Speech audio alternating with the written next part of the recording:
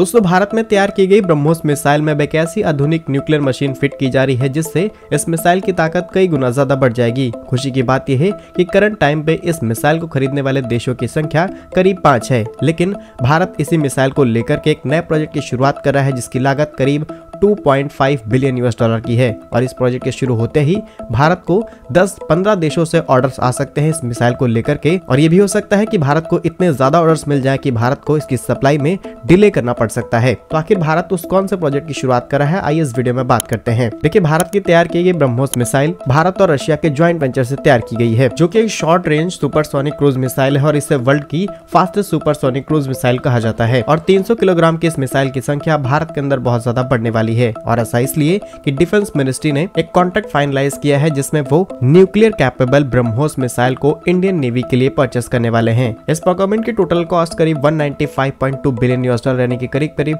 2.36 billion US dollar की है। अभी बहुत ज़्यादा डिटेल्स नहीं है कि एग्जैक्टली कितने मिसाइल्स को खरीदा जाएगा, लेकिन ये कॉन्ट्रैक्ट पूरी तरीके से फाइनलाइज हो चुका है, क्योंकि इससे पहले भी लास्ट मंथ हमने देखा है करीब 200 ब्रह्मोस मिसाइल को खरीदने का ऑर्डर ऑलरेडी डिफेंस मिनिस्ट्री की तरफ़ से दिया गया है, जिससे इस मिसाइल की संख्या भारत के डिफेंस में और ज़्यादा बढ़ने वाली है। और 200 ब्रह्मोस मिसाइल का वो कॉन्ट्रैक्ट करीब 9.88 बिलियन इंडियन रुपीस का था। अब आते हैं मेन सवाल पर कि इससे हमारे एक्सपोर्ट कैसे बढ़ सकते हैं। 2016 में वियतनाम ने इस ब्रह्मोस मिसाइल को खरीदने में इंटरेस्ट दिखाया। फिलीपींस के साथ ऑलरेडी हमारी डील फाइनलाइज हो चुकी है। उसके बाद इंडोनेशिया, साउथ कोरिया और थाईलैंड वो देश है जो ब्रह्मोस मिसाइल किसी न किसी सूरत में खरीदना चाहते हैं। क्योंकि इन्हें भी एक हाई रेंज की मिसाइल चाहिए, लेकिन एक ऐसे प्राइस पे जिसे आसानी से अपने देश के अंदर मंगाया जा सके और उसकी मेंटेनेंस भी की जा सके।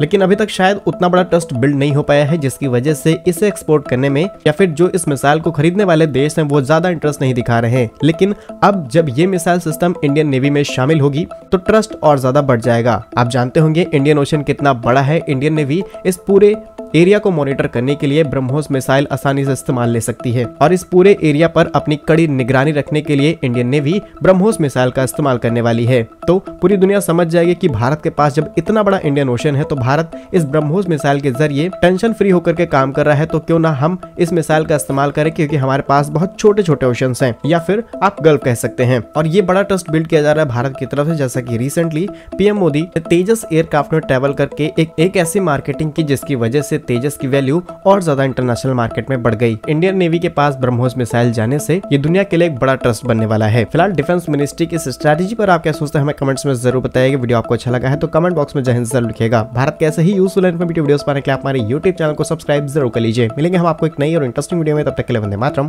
भारत माता की जय।